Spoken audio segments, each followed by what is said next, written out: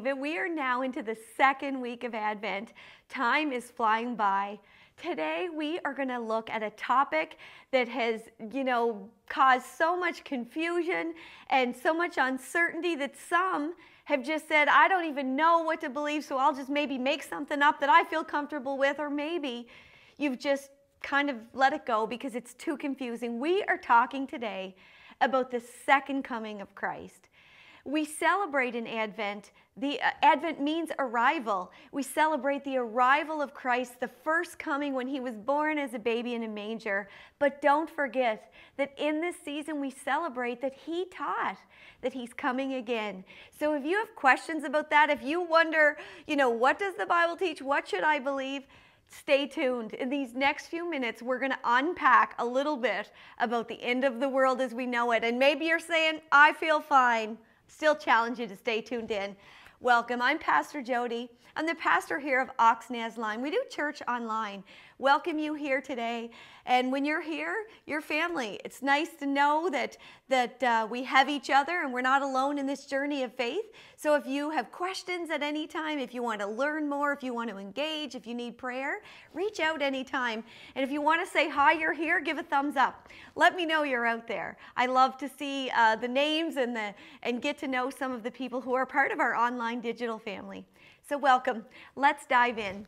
It's interesting Jesus said some, some really, really cool things to, to his people that are recorded in scripture when he was alive.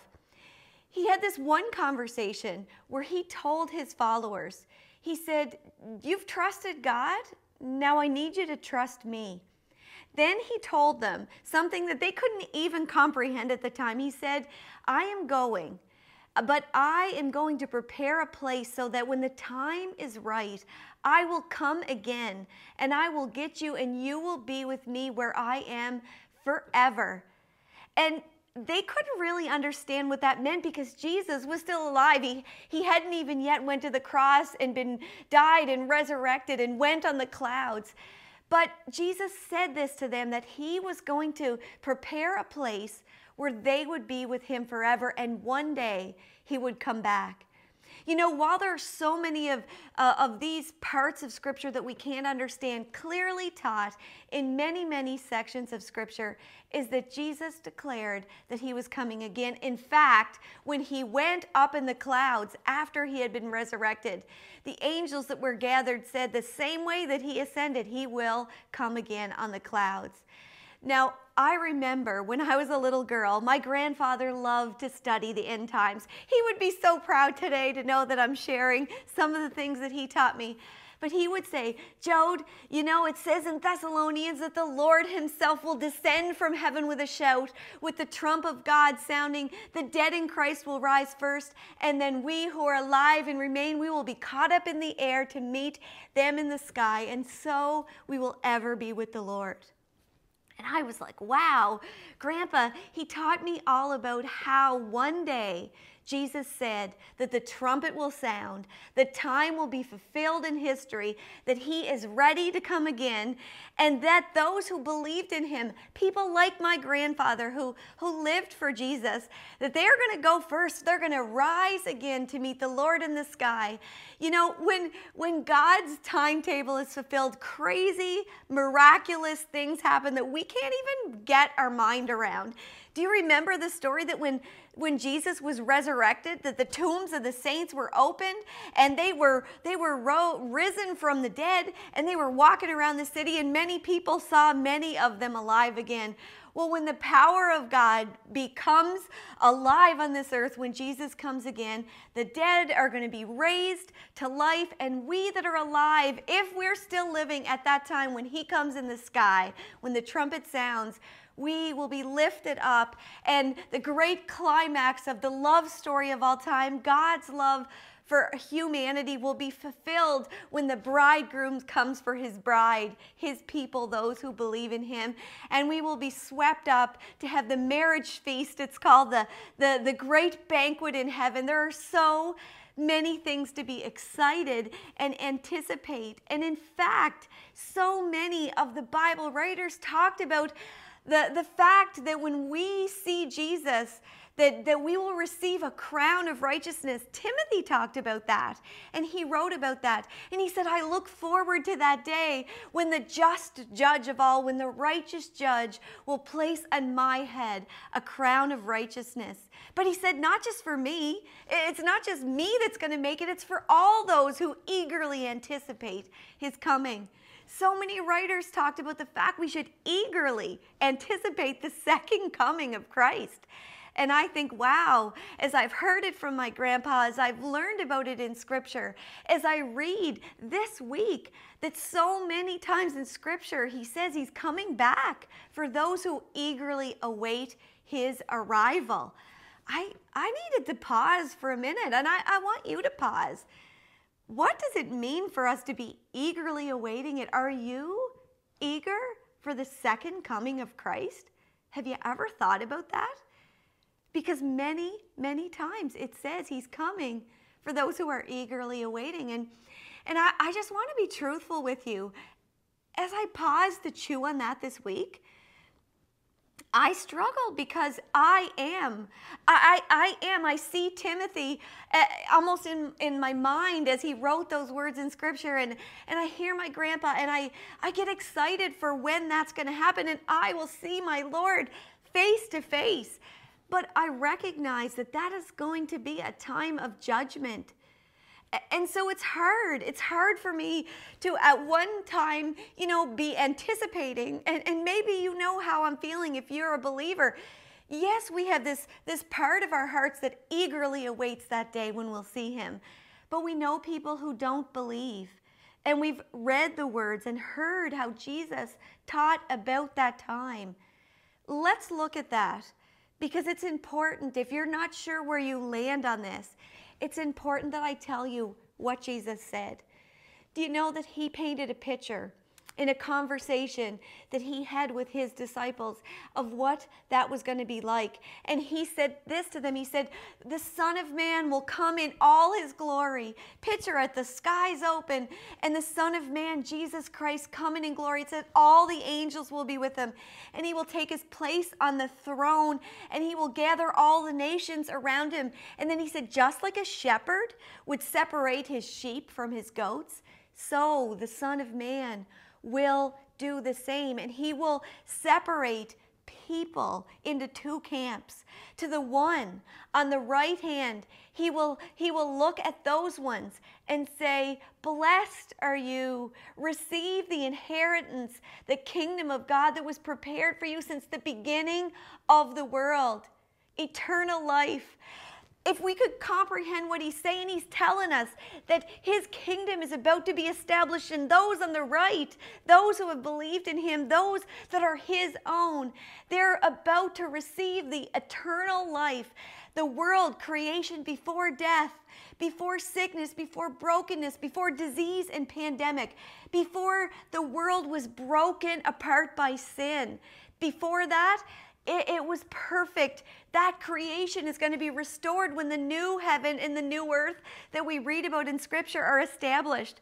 So he's going to say to those on the right, inherit this kingdom prepared since the beginning of the world, but to those on his left, he's going to say, I never knew you. You're now getting what you have desired, a life separate from me.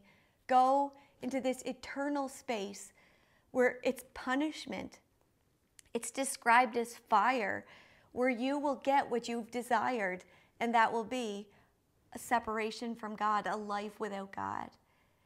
This is this is hard. And I know it, it begins to raise all these questions well, I'm not that bad of a person. I've never murdered anyone. And we begin to wrestle with who is God that He would send me to hell? And we, we have those questions, and I've heard them, and maybe you've asked them. Maybe you've wrestled with them. And I, I want you to understand that God, His judgment is an expression of His love. And you might say, okay, you've gone too far. Bear with me here for a second. There is no love without justice. Now, that is not a Christian slogan. It's not just a nice thing for a pastor to say. You go in Google, and you Google love without justice, you will see that every writer from every, um, every religion, every philosophy, every type of thinking will recognize that love requires justice. And, and I read these words in psychology today. Let me read them to you because they just blew my mind.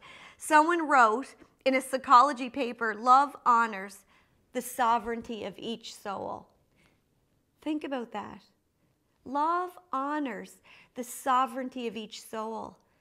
God has made a way when He sent the precious baby, Jesus, to be born on this earth, to live, to die, to pay for our sins, so that we people that are sinful, we, we do wrong. God is holy. It separates us. But He didn't want it to be that way, so He sent His only Son because of love, so that through Him, through what He did, we could be made right with God. He gave us the answer, He gave us the gift. That's what we celebrate on Christmas. That is the story of Christmas that Jesus came to earth to be our Savior. But, guys, it says in Galatians, don't be deceived. It says, let me read it to you. Do not be deceived. God cannot be mocked. A man reaps what he sows. What does that mean? It means, and it unpacks that whoever sows to please their flesh, from their flesh will reap destruction, but whoever sows to please the Spirit, from the Spirit will reap eternal life. What the Bible is teaching is that you get a choice. You choose what and who you want relationship with this in this world, and God's going to honor that choice. When the just judge sits and passes judgment, we are only right with God, at peace with Him, and given that crown of righteousness, right standing for eternity if we have believed on Jesus Christ to be our Savior and forgive our sins wash us clean.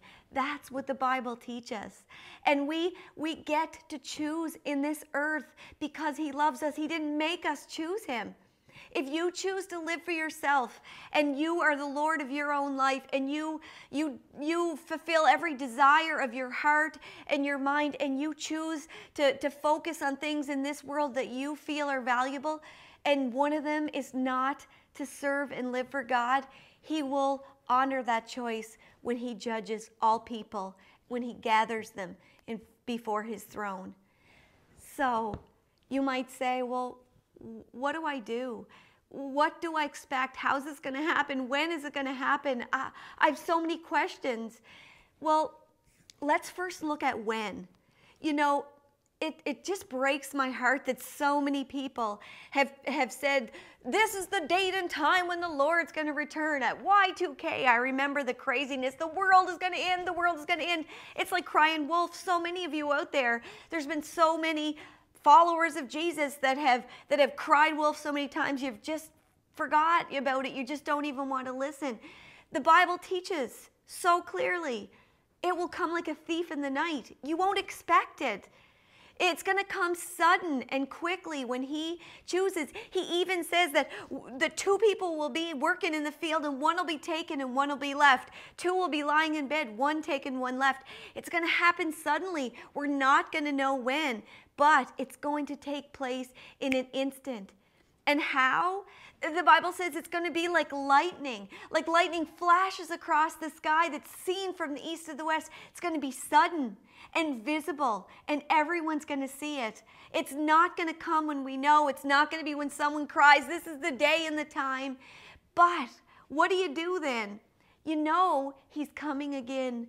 You know that Jesus is the way to be okay, to be the one on the right that's chosen to go to eternal life if we've chosen relationship with Him.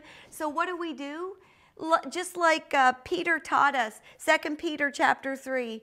He says it's going to come like a thief, so be ready. Just be holy. You ought to be living godly lives as you anticipate and eagerly look forward to his return. Friends, if you have made peace with God, you are ready for when the day comes that the trumpet sounds and the lightning flashes across the sky and Jesus Christ comes with all his angels in the cloud of glory. When that time comes, if you have given your life to Jesus, if you have believed onto salvation, you have asked Him to forgive your sins, you are ready. When He says the words, Behold, I'm coming soon, you can eagerly anticipate that day. But if you have chosen today to say, I just want to do my own thing, I want to live my own life, uh, I just want, I don't know what it says in the Bible, I don't know if I even believe it's true, please hear me Hear me. God is the just judge, and one day you will stand before him. And I hope that when that day comes, your heart is right with God. Can I pray for you today? Heavenly Father, I thank you that you give us your word. And, and it's hard to understand. And thinking about the end of the world and when you're going to come again, it's a bit scary. It's heavy on our hearts to think that some have chosen not to follow you and that for eternity they're going to get their choice granted. Father, I pray that you would speak and call every listener, that every single ear that listens in this moment would be awakened to know that you are real and that you love them and that you have paid the price that they can be confident when they stand before God that they will receive the crown. They will be a righteous one at peace with God, made right through Jesus Christ, the greatest gift of all. Father, pour out your spirit, meet them where they are, help them to find salvation in Jesus' name. Amen. As we close today, I just want to tell you that this, I know, is a hard topic. I know it's hard to really feel confident about the world ending and, and, and the call for the believer to eagerly anticipate that day. But this is a season where we do prepare our hearts for the coming of Christ at Christmas and for the fact and the truth that he's going to come on the clouds of glory.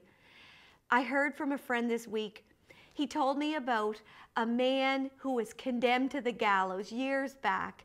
He was facing the death penalty and he was on that march to the gallows. A priest was behind him reading the word of God. And he looked at the priest and he said, If I believed half of what you said is true, I would crawl across England on broken glass so that people would know the truth. My heart is that we would celebrate the coming of the Lord and that we would be together, whether I know you out there on the other side of that camera or whether we've never met. You have been called by God to share with me in an eternity. He's made it possible. I hope that you will choose today, and I hope that we will spend eternity together with our Savior, where He honors the choice that we've made in this world to follow Him. God bless you this Christmas season.